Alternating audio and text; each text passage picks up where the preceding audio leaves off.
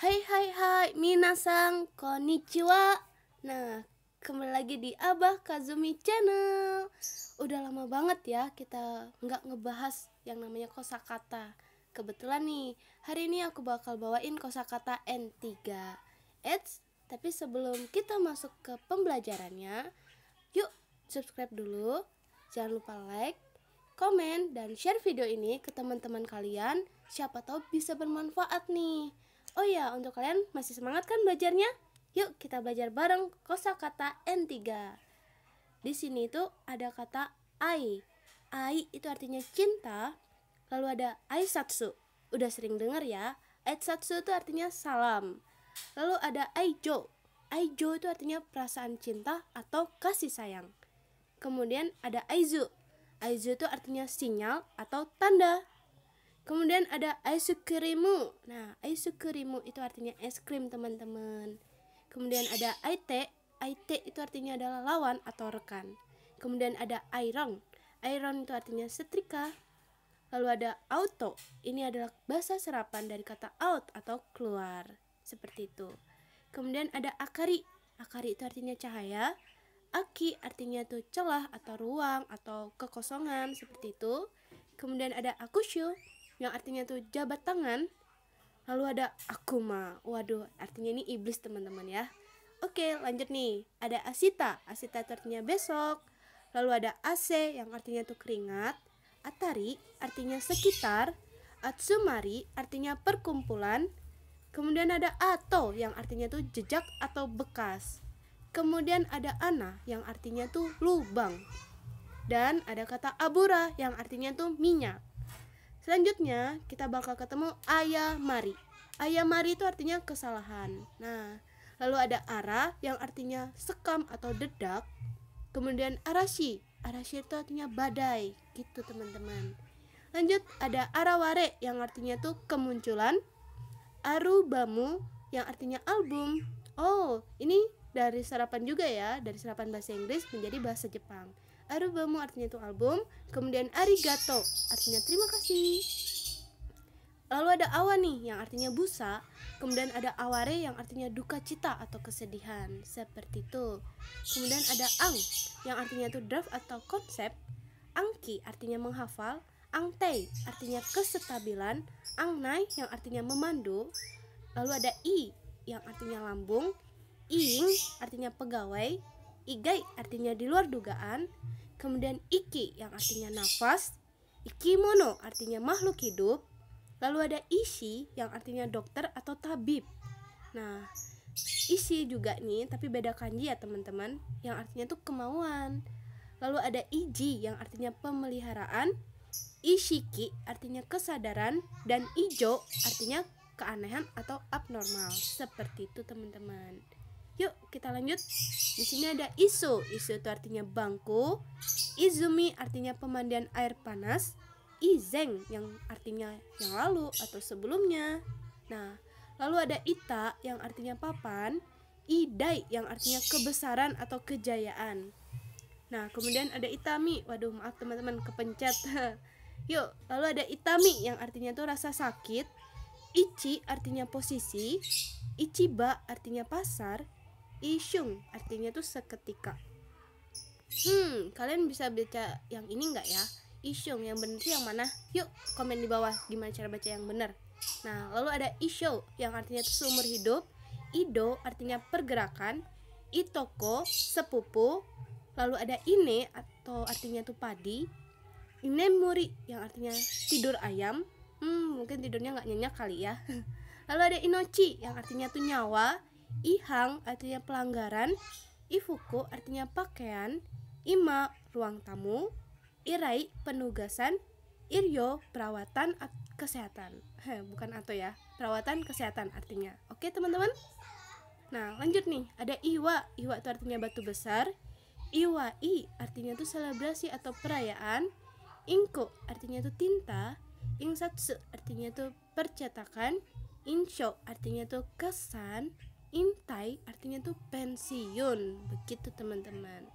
Nah kita lanjut lagi nih. Inyo yang artinya tuh kutipan.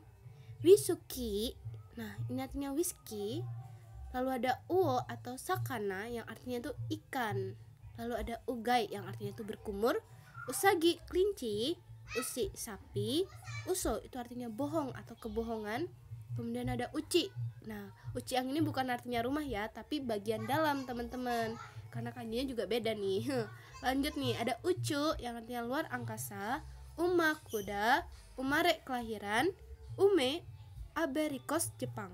Hmm seperti itu ya teman-teman. Lalu ada uasa yang artinya itu gosip atau rumor. Nah lalu ada ung yang artinya keberuntungan ungten yang artinya menyetir undo yang artinya itu berolahraga dan e yang artinya itu pegangan dan eng yang artinya itu abadi Nah, kita lanjut nih. Ada EQ yang artinya keabadian, EQ artinya pengaruh, EGYO artinya bisnis atau perdagangan. Seperti itu teman-teman. Lanjut ada AC yang artinya satelit, EYO artinya nutrisi, EGAO artinya wajah senyum. Selanjutnya ada ESA yang artinya umpan, energi artinya energi. Nah, ini juga sama bahasa serapan dari bahasa Inggris. Lalu ada kata eng atau yeng Engki artinya penundaan, Enggi artinya acting aksi panggung seperti itu teman-teman.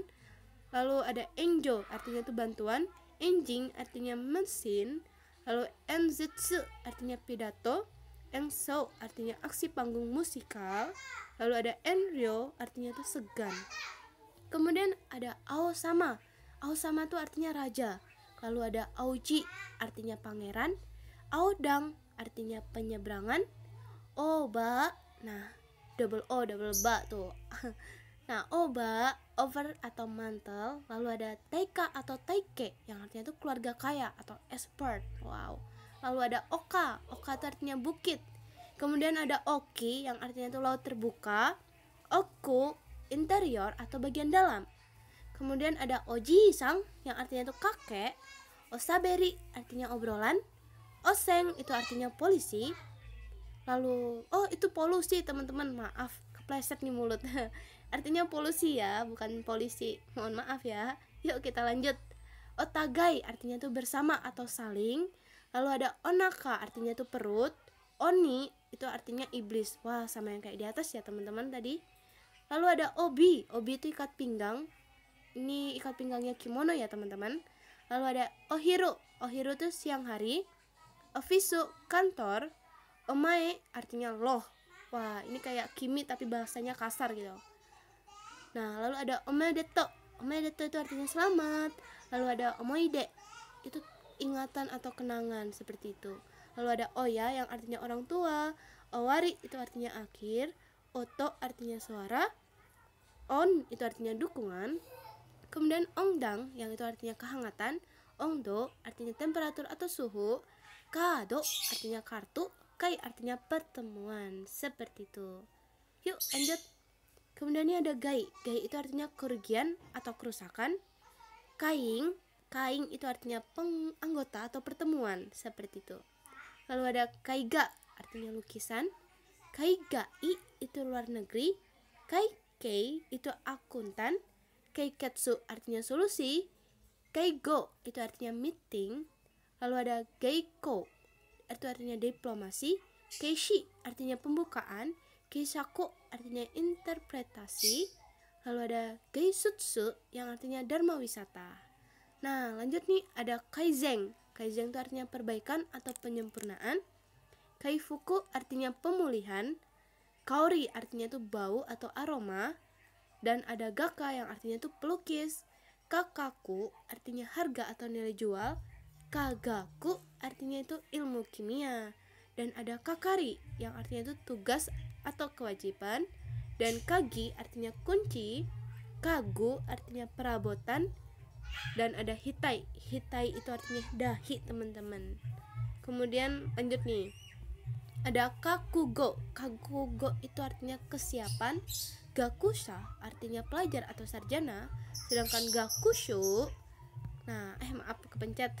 Gakusho itu artinya belajar atau studi. Kemudian ada kakudai artinya pembesaran. Kakunin konfirmasi.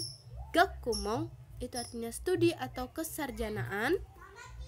Kemudian ada kage yang artinya bayangan. kageng artinya derajat atau tingkat. Kako itu artinya masalah. Dan ada juga kago yang artinya keranjang belanja teman-teman.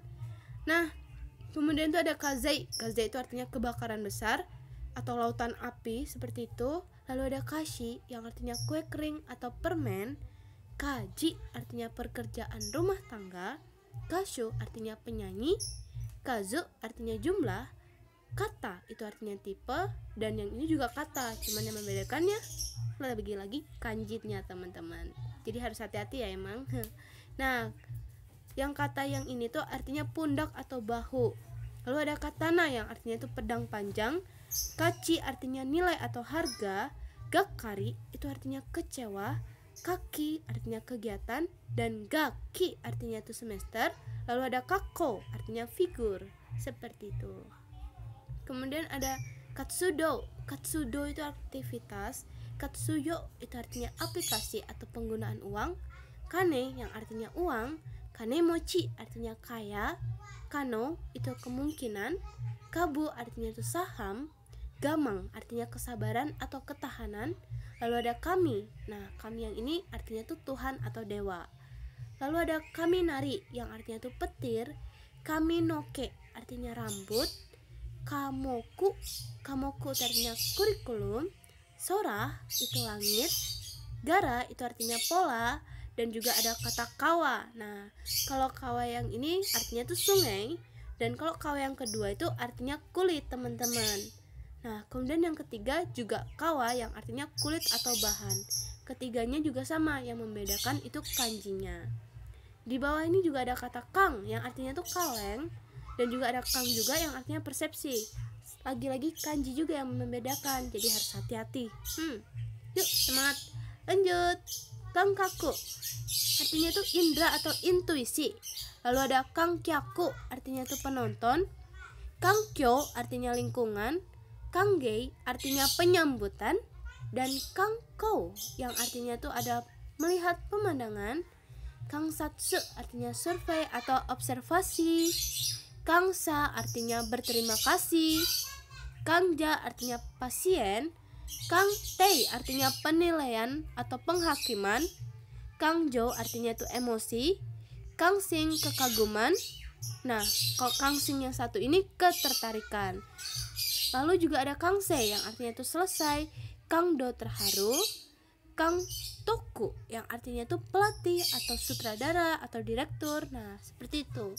Kemudian ada Kang Ri yang artinya itu manajemen, Kang Rio artinya penyelesaian, Kang Reng artinya relasi, dan Giing artinya itu parlemen atau anggota rapat, Ki Oku artinya itu ingatan, Ki Yong artinya itu atmosfer, lalu ada Kikai yang artinya mesin, Gikai artinya kongres, Kikang itu artinya periode, dan juga ada Kikang lagi yang artinya itu organisasi atau institut. Nah, yang membedakan itu bagian depannya ya teman-teman, jadi harus diingat Kemudian ada kigyo yang artinya itu perusahaan atau usaha atau korporasi seperti itu. Nah, kita lanjut ya.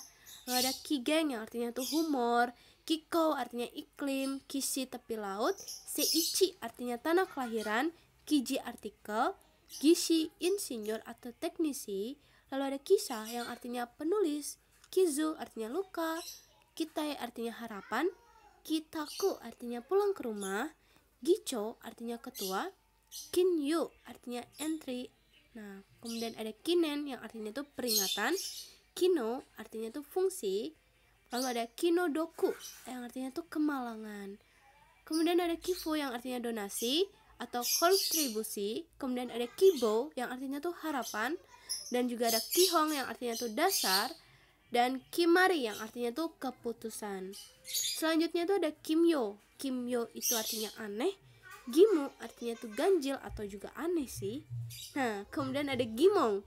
Gimong itu artinya pertanyaan atau masalah. Nah lalu ada Gyaku yang artinya itu kebalikan. Kyaputen artinya itu kapten. Hmm ini diambil dari kata serapan juga yang bahasa Inggris kapten ya. Nah kemudian ada Kyangpu yang artinya tuh kemah dan Q yang artinya itu 9 waduh maaf nih pencet. Oke okay lalu ada Q lagi yang artinya tuh dulu atau bekas hmm, atau mantan. Waduh bisa juga Q yang artinya kelas atau level. Ketiganya ini kanji yang berbeda ya tapi bacanya sama nih Q Q Q gitu lalu ada QK yang artinya cuti QK artinya istirahat tapi tidak main ya istirahatnya lalu ada QGK yang artinya tergesa-gesa lalu ada penyerapan hmm, ada Kyushu yang artinya tuh penyerapan Kyujo artinya berbentuk globe atau berbentuk bola dunia. Oke, teman-teman. Sebenarnya kita udah selesai nih di daftar yang ini. Mungkin kita bakal lanjut di part 2-nya. Nah, tapi sebelum itu kalian udah subscribe belum nih? Kalau yang belum, buruan deh subscribe. Bermanfaat banget nih channel buat kalian belajar bahasa Jepang pastinya. Oke? Janji ya. Jangan lupa untuk di share, komen, dan subscribe pastinya. Dan jangan lupa untuk terus belajar dan semangat. Dadah teman-teman.